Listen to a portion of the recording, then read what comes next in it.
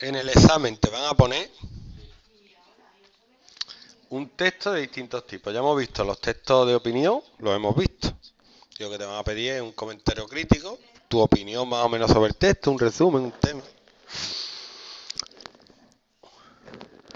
Te van a poner un texto narrativo. Tiene un texto narrativo, pero lo que te van a pedir son las características. Indica las características del texto.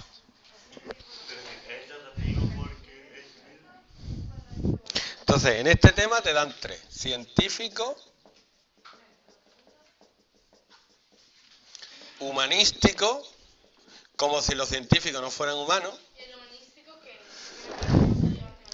Y el técnico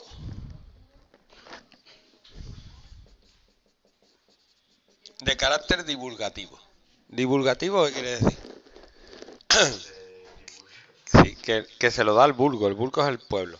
Entonces tú mm, no es lo mismo que yo explique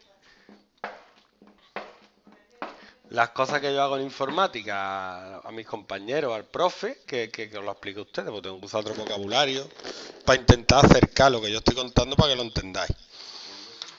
¿Eh? El vulgo, el vulgo, el vulgo. Tú eres muy vulgar, que eres del vulgo. Eres una Sony. El vulgo. ¿Tú eres vulgar o no? No, no, sí me gusta. Una persona del pueblo. Pues yo soy vulgar. Nadie lo puede decir. Que no. Yo soy del pueblo. Bueno. Dice características de los textos científicos. ¿Qué es un texto científico? Pues te pongo por un texto que habla, por ejemplo, de de la capa de ozono, de del universo, de del Big Bang, ¿de quién? ¿De Punset? Las células son objetos. La vida, de, ¿cuál? ¿De Punset? ¿En qué asignatura? En filosofía, ¿no? Ah, vale, en biología. Y cuando puso, como mi pequeño país, Cataluña. ¿Eso lo pone en el libro? Bueno, pero yo también puedo llamar Andalucía mi pequeño país no querer separarme. Yo soy andaluz, pero soy español. Y soy terrestre. Me recuerda a mi pequeño país. Bueno, su pequeño país, ya está. Bueno. Entonces, en un texto científico divulgativo dice que los textos son expositivos o argumentativos.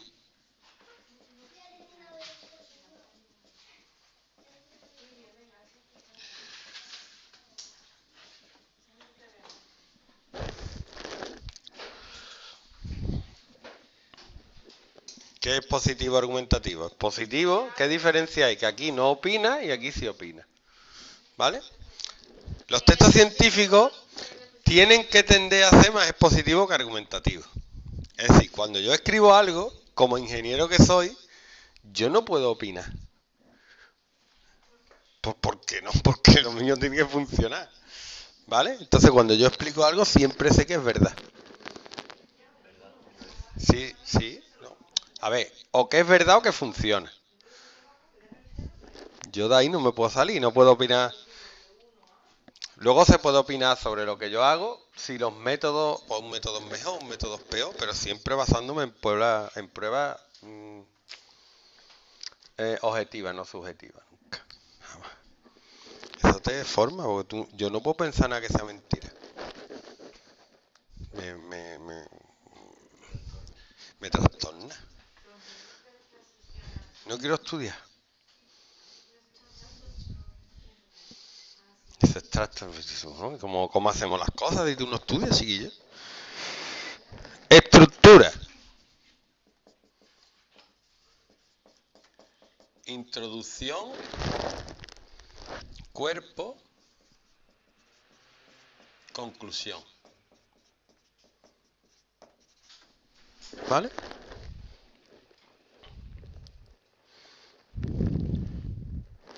Hay dibujo. Dibujo, gráfico, explicativo. Pero no siempre, ¿no? No, siempre, pero...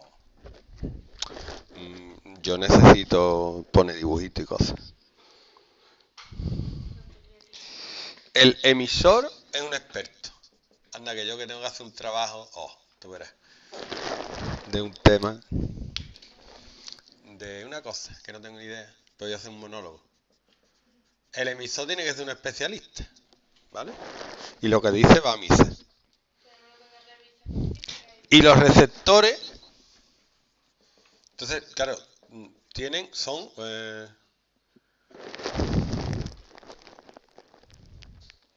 investigadores, profesores, estudiantes. A esto es lo que yo me voy a ahora, a escribir para esto. Imaginaros la responsabilidad, o sea, no, no es lo mismo. Aunque yo creo que hay que cuidar siempre todo igual, pero...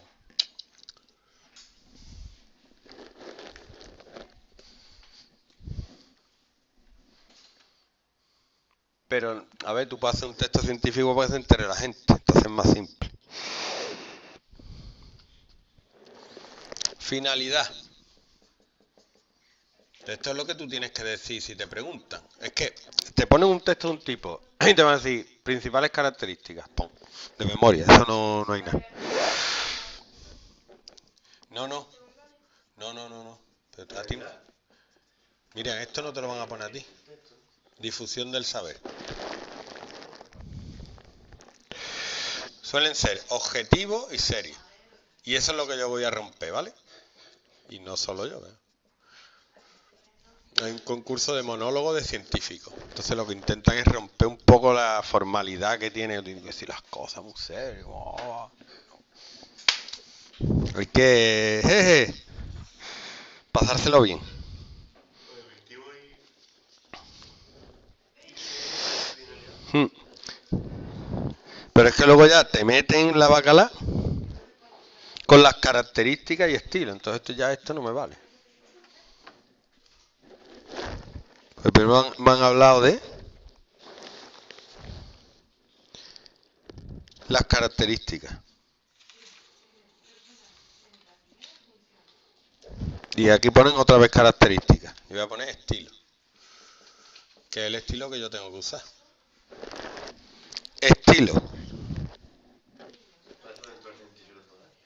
Verbo en indicativo.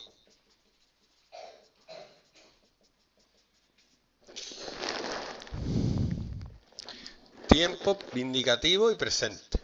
Pues lo que está pasando ahora. No. Tampoco lo está copiando porque esto no te va a caer. A ti te va a caer. De opinión, no lo sé. De opinión, de poema, de teatro. De narrativo. No, no, no. Que va, no, no va a caer ni de broma. ¿Eh? No te van a poner un texto científico.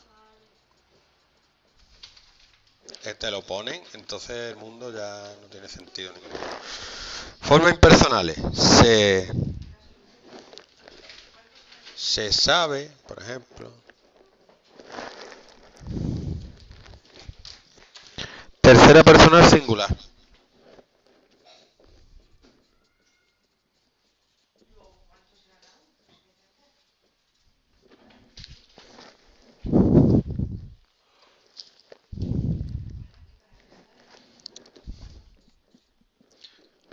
Muchos sintagmas nominales, porque tienes que expresar muchas realidades, y las realidades son nombres.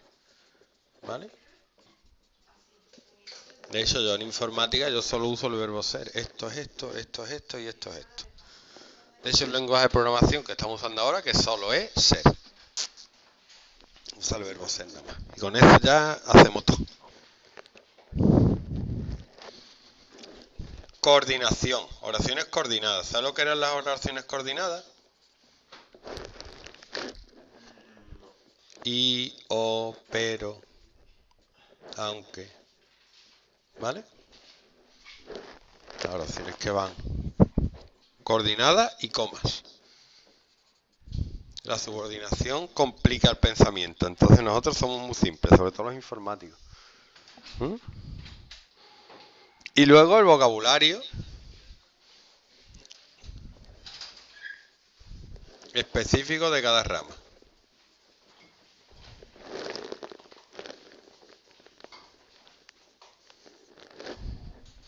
Entonces, mi tarea, o yo creo que, aparte de esto, tenemos que aprender a escribir para que la gente lo entienda. Eso es lo que hacen los divulgadores científicos. Saben mucho, pero aparte saben expresarse y explicar las cosas para que a ti te guste.